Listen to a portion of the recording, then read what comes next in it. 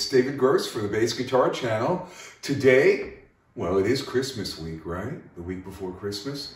So today I want to wrap up and complete our discussion of Locrian mode using a six-string bass. Now what's great about this is since we're in the key of C, Locrian being in B, we can use our low B. B, C, D, E, F, G, A, C, D, E, F, G, A, B, C, D, E, F, G, A, B, C, D, E, F, G, A, B. One of the interesting things about working with this upright bass uh, over the last six or eight months has been the fact that I'm using open strings more. Uh, with the upright bass, it's apparent that you need to use the open strings when you're going up and down the neck. But I never thought of it in terms of either the six or the four string bass. Uh, obviously, with a low B, you have to use an open string, but things like I'm now favoring and then up again becomes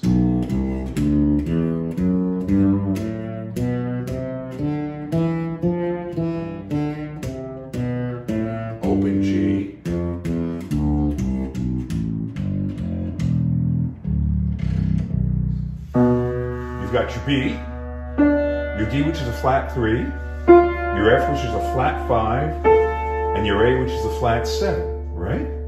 But here, flat nine, 11, flat 13. Take a good look at that. C, E, G. What's that? It's a major triad. So you have a minor seven, flat five, major triad on top. B minor seven, flat five, C major here's something that's really interesting. Seven, flat five is also called a half diminished chord. Now, if you've been watching a number of these videos, you understand that my concept is one that a scale or mode is actually built in thirds, not one to eight. Uh, the reason I do that is because I'm thinking in terms of the chord. I always think in terms of the chord. As a bass player, our major function uh, is to be the articulation of chords along with the rhythm. So with that in mind, why don't we take a good look at, on a six string bass, a B Locrian in thirds. So what we have here is our root, which is the open B string, D, which is the flat third, F, which is the flat five, A, which is the flat seven, C, which is the flat nine, E, which is the 11, G, which is the 13, and then back to B. And then, of course, we can go up even further. The D, which is the flat third, and the F, which is the flat five.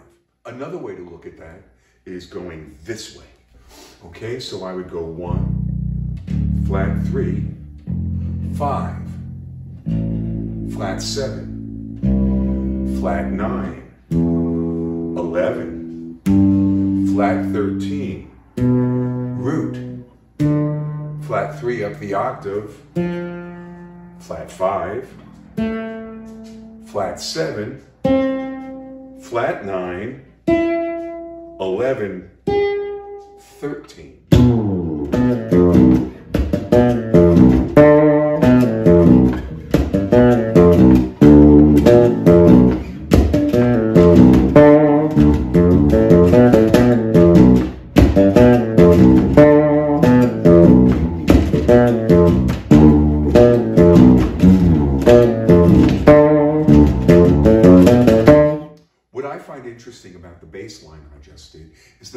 I just used the B minor 7 flat 5 chord tones. Now, what do I mean by that? Well, I use the B, I use the D, I use the F, I use the A. I also use the D, the octave above. So just to analyze it quickly, root, the octave above, flat 7, flat five, root. The flat third up the octave, so it's a flat 10.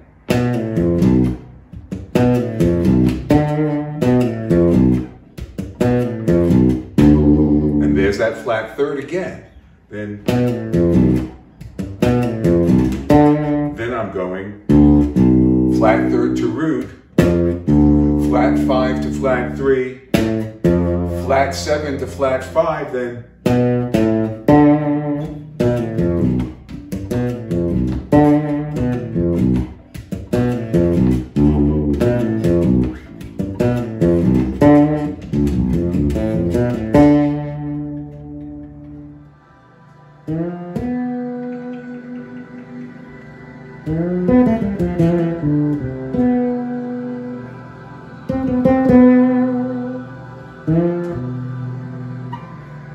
Now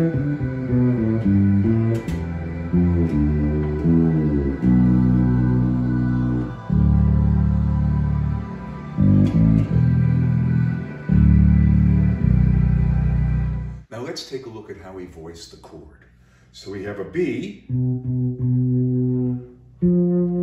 That flat five is the F.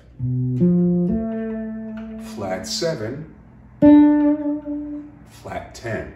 Similar up the octave from what we did on the uh, four string bass.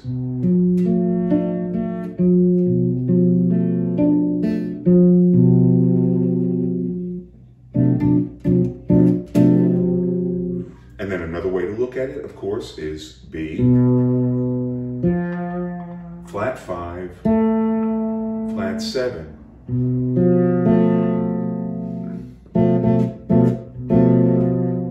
So that should give us enough to work on today. Uh, tomorrow, we're going to wrap up all the modes on the fourth string. Then Wednesday, we're going to wrap up all the modes on the sixth string. Thursday's Christmas Eve. I've got something special planned, and you're just going to have to wait till Thursday to find out what it is. Also, tonight, 8 p.m. Eastern Standard Time, uh, on www.cygnusradio.com. That's C-Y-G-N-U-S radio.com. Tom Semioli, head honcho over at knowyourbassplayer.com. And lots of dot coms, right? And I will be spinning records and talking about the great Canterbury music scene, an experimental music scene in England. Oh, uh, mid to late 60s into the 70s.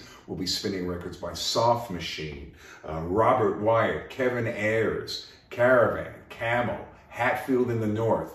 It's a great two hours. We've pre-recorded it. It sounds great. And uh, we look great on radio, I gotta tell you. Tom and I look great on radio. And next, uh, I'm David Gross. It's www.thebassguitarchannel.com.